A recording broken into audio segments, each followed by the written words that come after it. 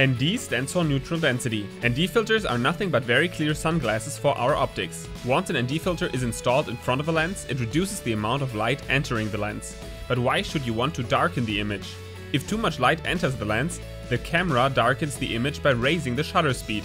This will make the lighting look balanced again, but the higher the shutter speed, the more crispy and stuttering the moving objects will look like.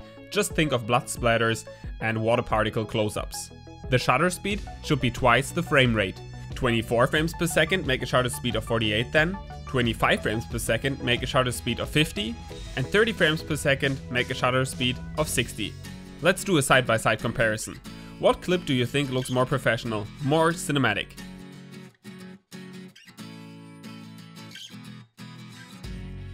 Yes, you are right, the one at the bottom looks definitely more cinematic. Correct. The upper clip was shot in auto mode without an ND filter. The shutter speed was always between 800 and 1000. The clip at the bottom was shot with an ND16 filter screwed onto the lens, and the shutter speed was manually set to 60. The actual difference gets easily visible if we pause the video. The upper image looks crisp and clear and like a perfect photo, but film is different. We talk of motion and we want to see and feel that motion. The picture at the bottom has a way larger amount of motion blur. Let's zoom into the images. Notice the crisp and sharp plants and the super clear wheel rim at the upper image. And now compared with the blurred plants and the blurred wheel rim at the bottom image. And if we now resume the clip, we see that the clip at the bottom feels way faster. It feels like motion.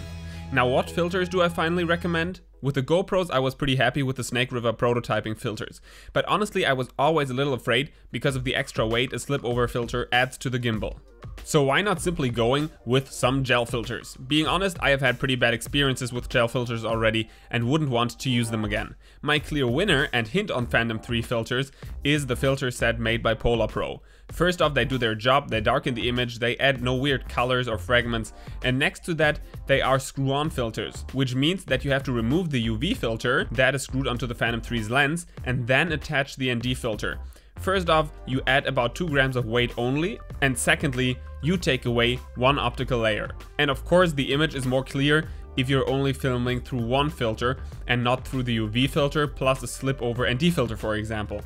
The product link, by the way, can be found on tomstechtime.com slash gadgets. Please return the help and leave a PayPal donation so I can keep up the work. Check out tomstechtime.com slash donate on that purpose and leave a feedback on how you like the filters and share your aerial moments with the community. Facebook.com slash groups slash tomstechtime. Thanks for watching. This was Tom from TTT Tom's Tech Time. Stay tuned and fly safe.